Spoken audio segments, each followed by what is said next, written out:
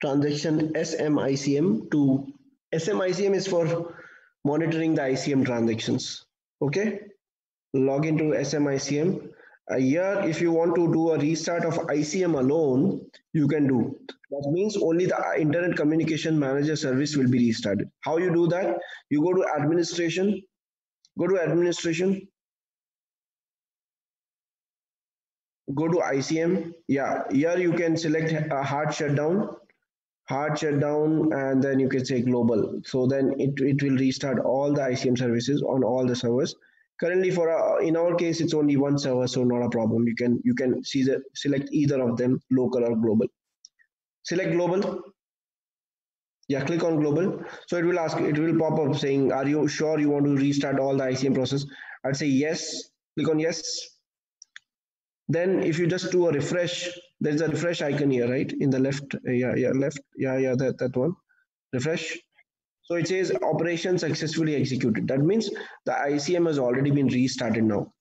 Okay? So all these threads are available now for icm icm these are the threads which actually facilitates the web logons. So for icm it's all web logons. If you click on this icon it goes to the services. Okay so these icons will show the services. Uh, what are the services which we have activated? HTTP, HTTPS, SMTP. So HTTP, the web URL, if you if someone wants to invoke, they will log into HTTP protocol with the port 8000 and the processing time and the keep alive time are five minutes. And for HTTPS, it's 44300. What is the main difference between HTTP and HTTPS? HTTP is a is a normal, yeah, HTTPS is a secured protocol. And when the user machine uh, user machine tries to access the server, it will it will actually encrypt uh, the the route, encrypt the uh, the the communication between between the presentation layer and the application layer, and that's how it is secured and it is difficult to break. Okay, break uh, difficult to break.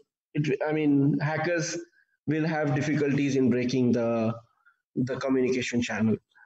So thirdly, we have SMTP protocol, which we have enabled if we want to communicate to the Exchange server or a mail mail uh, server, then we can enable SMTP on any of the desired ports.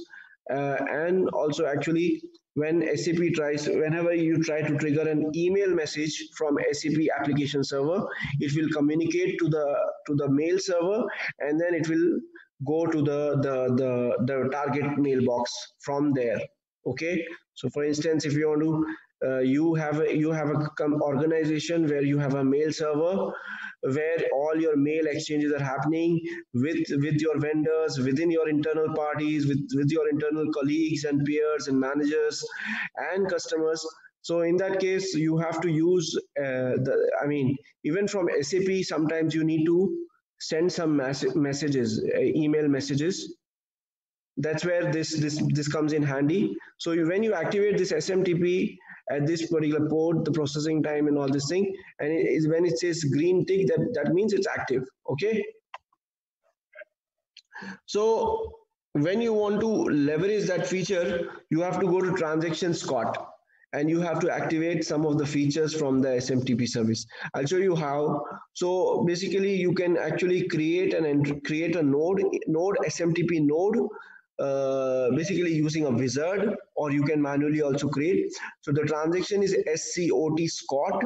Okay, this this actually is for business communication administration as you can see and basically it is used for the the enablement of uh, the smtp nodes so, so SMTP node, I want to create using wizard, for example.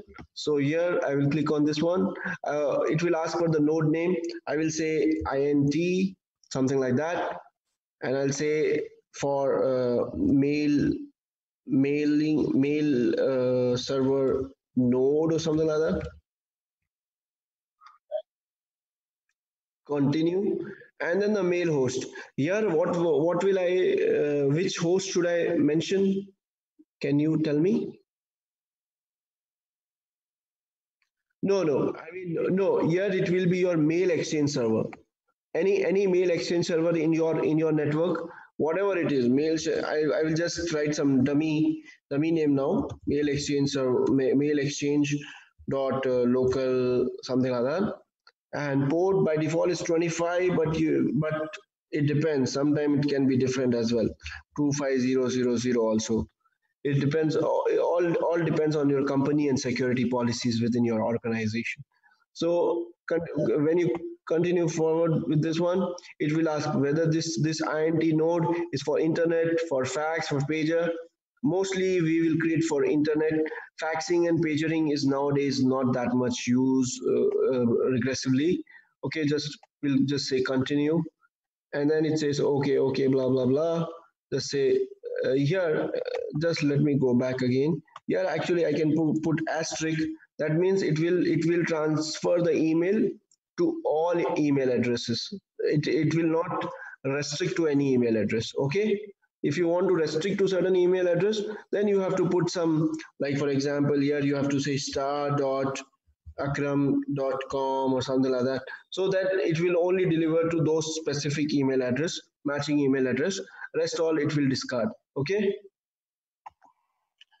so going forward, so it says, okay, subscript, uh, what format you want to deliver, a ABAP list, what format you want to deliver. These are the default formats in which your your your different types of reporting elements will be transferred via email. So normally we keep it as default and just say continue. And then it says set further type address, we'll say no. And then we just say continue. And then it says maximum wait time and repeat time and blah, blah, blah you can keep this empty uh, or you want to keep some values then you can keep also no problem that's just just how it repeats uh, actually it will schedule a job if you want to schedule a job like to send emails every five minutes it, it can, you can just set 300 seconds and it will send send the, the the emails every five minutes okay from from sap to the mail exchange server so uh, that's how that's how the SCOT configuration is done. Once once you trigger now now all this configuration is done. Now let's do a one cycle of test. So you go to SBWP. SBWP is a transaction. It's a business inbox. Okay. So here you can create as create a custom message. For example, I say hi, blah blah blah, test. Okay, and I'll I'll just give some dummy address, or even I can actually give the user ID also here. So if you see, there is a um, there is a SAP logon name. So here SAP logon name, I can directly give Akram07. That user ID is already existing in the system. When I press enter, it will pull out the name which is coming from SU01. Okay, and I say when I say send, it will actually create a it will actually create an a document, an email document in your outbox. So if you see, it's already there hi and and uh, how to monitor this? There's one more transaction called called as sost sost so here you will see all your your send request all your email send request. Here uh, there is a caveat here. When you click on transmitted you refresh this one. Uh, just a moment. No entry in the queue. Okay. What is the period when we send this uh, this one? 17 okay. We'll just say 18 because today we have sent this to today so when you when we just do a refresh uh, why it is not coming huh 16 हाँ लेकिन 16 से 17 16 से 18 तक कर रहे हैं ना हम लोग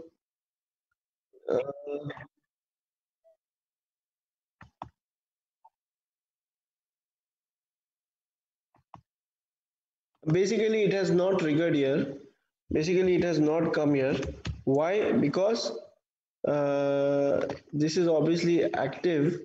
The node is active isn't it? Ah the node is not active here. If you see here the internet is is grayed out. We need to activate this one. So we go to the change address type and here we say, where is that gone? Uh, mail node, no, no. Just go to the change mode, star, and then, uh, okay, that means this, this needs to be activated, which is already activated actually. Just a second, ah, node in use. So it's already activated. here okay let me give some some uh, seconds here. 300 seconds or something like that. 300 seconds and do not use tls okay that's fine. We don't want to use tls uh, that should be it.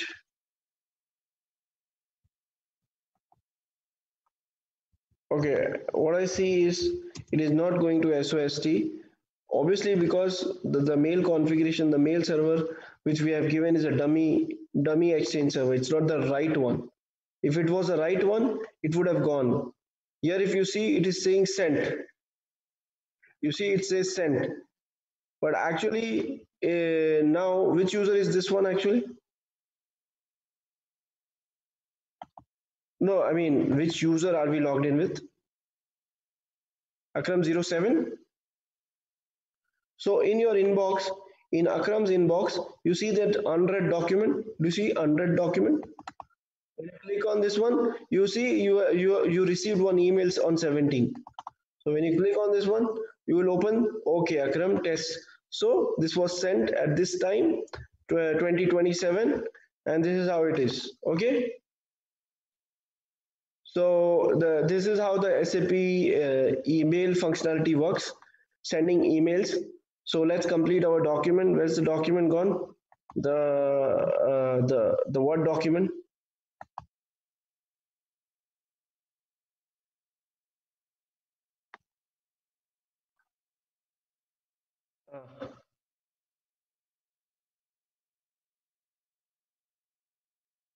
Yeah, so here, uh, enable exchange server, this is something which we were not able to complete finally, but but you got the you got the you got the point, right? This exchange server has to be activated.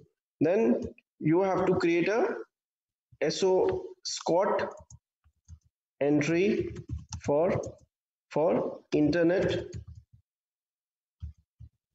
mail node okay this we this i had already i've already shown you and it's recorded in the session also okay? Then then you can test email uh, test email functionality using sbwp these are transaction codes okay? Business workplace it is called as sap business workplace okay? Business workplace it's like inbox okay and uh, that, that's it. That should be it. To uh, one more one more transaction code is sost this is to check all transmitted or error uh, email messages. Okay? But now for in our case it's not showing because our our mail exchange server is a dummy one. It's not the correct one. Okay Make sense?